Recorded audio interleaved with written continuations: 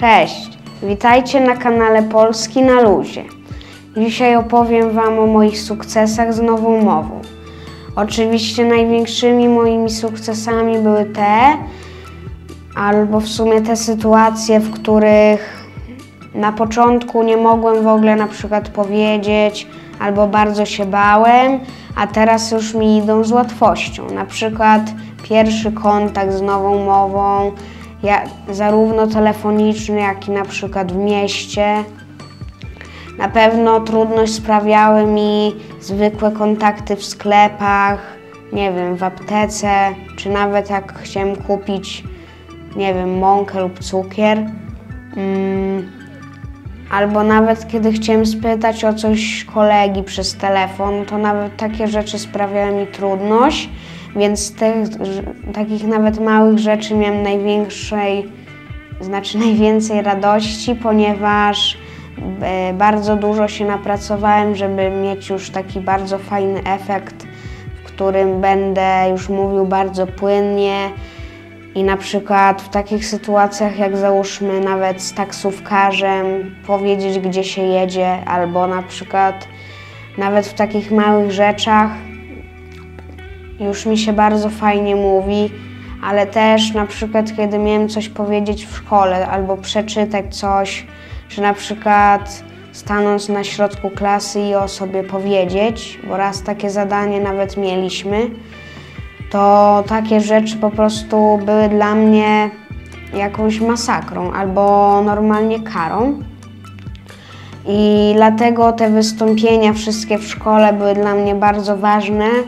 Zwracałem uwagę, żeby mi jednak jakoś fajnie poszły, a teraz już nawet załatwiam sam tą sprawę albo z innymi kursantami, żeby na przykład załatwić sobie wystąpienie w tej szkole albo na przykład w technikum.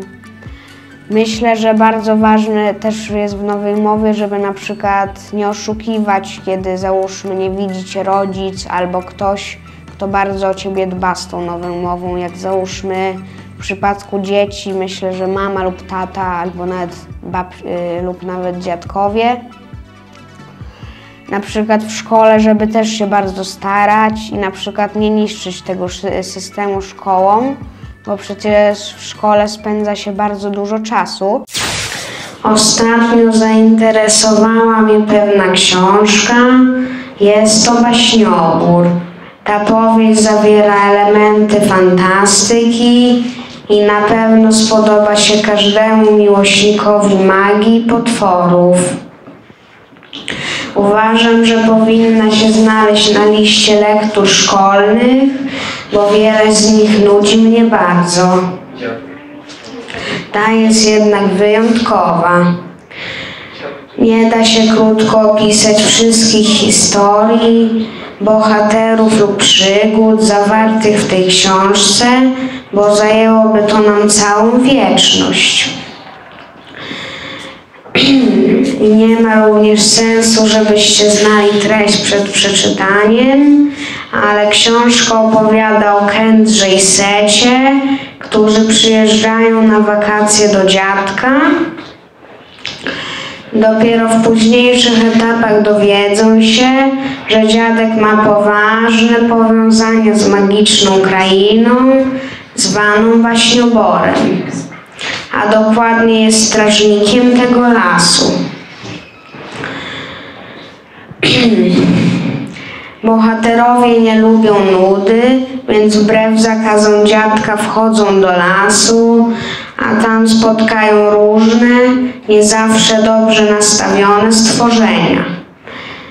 Będą musieli razem stawić czoło złu oraz pokonać swoje lęki. Książkę polecam nie tylko z powodu ciekawej fabuły czy barwnych opisów bohaterów, ale również dlatego, że tak mnie wciągnęła, że przeczytałem ją w jeden wieczór. Dziękuję. Czy są jakieś pytania? I myślę, że nawet takie proste sytuacje bardzo mi pomagają, albo nawet pytanie się nauczycieli, nagrywanie tego, albo nawet czytanie, czy jakieś odpowiedzi ustne w szkole. Mm, No myślę, że s- ja się z tego najbardziej cieszę, że już żadna sytuacja mnie nie może zagiąć, bo kiedyś w sumie to mogła nawet najprostsza. Polecasz jeszcze jakąś inną książkę oprócz tej? Polecam jeszcze taką serię Spirit Animals, którą czytałem w wakacje. Jeszcze ktoś? Ojciec polecił ją książkę. W sumie to kupił mi ją tata, bo nie chciało mi się iść do sklepu.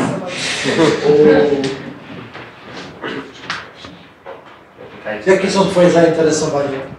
Głównie to sporty walki, bo trenuję jiu-jitsu, samochody oraz rasy psów. Jakaś konkretna rasa? Czy... Najbardziej lubię e, labradory, bo sam mam, ale bardziej interesują mnie takie duże, jak na przykład werber. No największe to na pewno moje pierwsze takie w 100% udane wystąpienie. Na pewno pierwszy taki kontakt w sklepie z nową mową, bo pamiętam ten dzień, w którym robiliśmy pierwsze kontakty i miałem jeszcze bloki wtedy i dopiero taki pierwszy kontakt w 100% w ładnej nowej mowie. Myślę, że z tego też się bardzo mogę cieszyć. Albo na, Jakie było Twoje pierwsze wystąpienie z nową mową? Pamiętam, że ono było właśnie w szkole, na zerówce i chyba wtedy powiedziałem autoprezentację albo chyba się tylko w ogóle przedstawiłem, ale i tak to był dla mnie wielki sukces. Albo nawet w takich już bardziej rozbudowanych sytuacjach, jak na przykład rozmowa z taksówkarzem, czy na przykład na wycieczce e, szkolnej pytanie o coś przewodnika no to takie rzeczy też bardzo pomagają i na przykład uczą pewności siebie. Na pewno przekonałbym ich tym, że owszem, trzeba włożyć w to bardzo dużo pracy, ale sami widzicie, że bardzo, bardzo dobre są efekty. Można już wszędzie dosłownie samemu chodzić.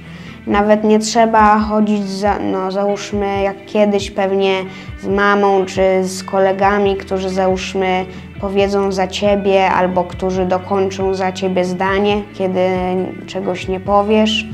Myślę, że nawet y, pewnie boicie się po tej odpowiedzi, że ja powiedziałem, że musieliśmy robić tyle kontaktów, przygotowywać te wystąpienia, ale teraz już wiem, że naprawdę było warto, bo w sumie to, mm, to myślę, że na pewno już w każdej sytuacji się czuję tak pewnie, że wiem, że to mi w 100% pomogło. I dosłownie każdy mi mówi, że, no, że oczywiście jest dużo lepiej i tak dalej. I na pewno każdy tak może mieć, że mieć najpierw problemy z mową, a nawet oczywiście mieć dużo mniej czasu niż rok i już mówić całkowicie płynnie. W sumie to nawet już na zerówce się mówi całkowicie płynnie, więc można już nawet po 10 dniach mówić bardzo płynnie.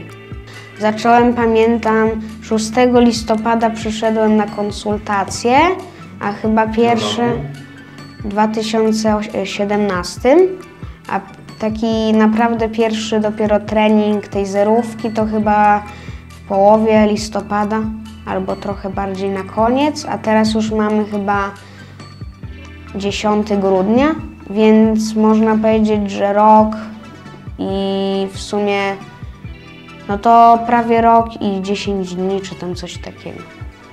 A ile Ci, ile ci zajęło dojście do pełnego upłynienia tego? Chyba zajęło mi to dwa miesiące, bo pamiętam, że